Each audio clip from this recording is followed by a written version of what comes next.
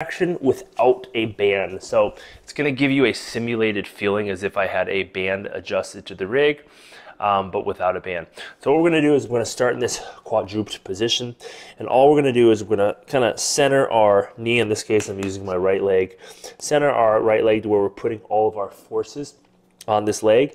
And I'm just going to kind of shift my hips to that side. So I'm pushing my hips towards the right, and you're gonna see how I kind of push my hip out. I'm gonna take my left leg, my opposing leg, and I'm just gonna kind of drop it back and behind towards my heel and drop my forearms, and you're immediately gonna feel how all of the stretch is through the outside of the glute or this right hip capsule. And what I can do from here, I've got most of my weight, probably 90, if not all of my weight on this right side. And I can just kind of lift my left knee and I can move forward and back.